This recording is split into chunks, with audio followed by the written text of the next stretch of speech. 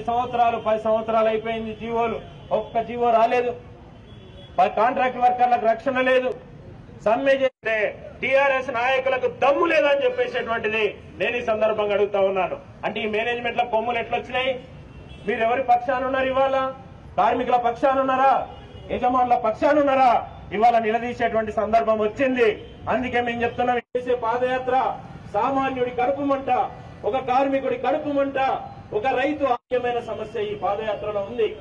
కూలి భూమి పోరాటాలే కాదు కూలి వారసత్వాన్ని సంపదను విజ్ఞానాన్ని ఉపయోగించుకొని ఇవాళ కూలి భూమితో పాటు మనుషులందరూ కూడా ఒక సంతోషం. ఇవాళ సిపిఎం పార్టీ రాజకీయ విధానంతో పూర్తిగా ఏకీభవించినటువంటి వాళ్ళు కూడా తమ్మినేని వీరభద్రం గారి యాత్రలో అడుగులో అడుగేసి నడుస్తా ఉన్నారు. ఎందుకని? ఇవాళ లాల్ జెండా ఏదైతే ఎర్ర జెండా ఉందో కార్మికుడి రక్తంలో తడిసినటువంటి ఎర్ర జెండా. ఇవాళ నీల్ జెండా ఉంది. నీలం రంగు జెండా అంబేద్కర్ ఒక మహా మేధావిగా కుల వ్యవస్థకు కుల వివక్షకు వ్యతిరేకంగా ఈ దేశంలో కుల అంతరాల మీద ప్రచారంలోకి పెట్టి సామాజిక న్యాయం కోసం నిలబడేటువంటి జెండాగా ఇవాళ నీలి రంగు జెండా ఉంది. ఇంకొకరిని కుర్చీలో కూర్చోబెట్టాలనేటువంటి ఆత్ర నువ్వు ఏ వాగ్దానం అయితే చేశావో ఆ వాగ్దానాన్ని అమలు చేయి. ఎట్లాంటి వాగ్దానాలు చేశావు? కమిటీ చేశారు. సభ కమిటీ చేశారు. సభ కమిటీ సిఫారసు చేసింది. మరి ఎందుకని మీరు ప్రభుత్వం ఆధ్వర్యంలో తీసుకోలేదు? తీసుకోలేదు సమ్మె చేస్తారా అని చెప్పేసి. మరి ఎటుపోతుంది మన రాజ్యం? ఎటుపోతుంది మన వ్యవస్థ? మనకి ఇలా కనీస వేతనం ఎంత వస్తుంది? కాంట్రాక్ట్ కార్మికుడికి ఇవాళ రెండు వందల యాభై రూపాయల కనీస వేతనం వస్తుంది.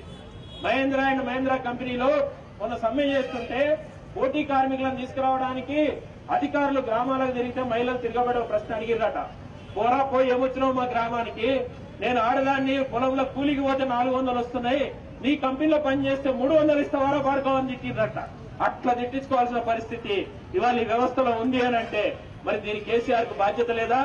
కార్మిక శాఖ మంత్రి హోం మంత్రిగా ఉన్నాడు? ఆ పెద్ద మీసాలు పెట్టుకున్న ఒక ఆయన నాయన నరసింహారెడ్డి. ఈయన కూడా కార్మిక శాఖ మంత్రి. ఆయన దగ్గరికి పోతే అంటాడట నాదేం నడుస్తుందిరా భయ అంతా కేటీఆర్ కేసీఆర్ అది సవే అంటుండట. అరే సాక్షాత్ హోం మంత్రి లేబర్ మినిస్టర్ కూడా ఈ మాట మాట్లాడుతా ఉంటే ఇక మహాజన పాదయాత్ర తప్ప ఇంకేమైనా మిగిలిందా మనకని చెప్పేసేటువంటిది నేను ఈ సందర్భంగా ప్రశ్నిస్తా ఉన్నాను. అందుకని మహాజన పాదయాత్ర ఇది ఒకటే కాదు.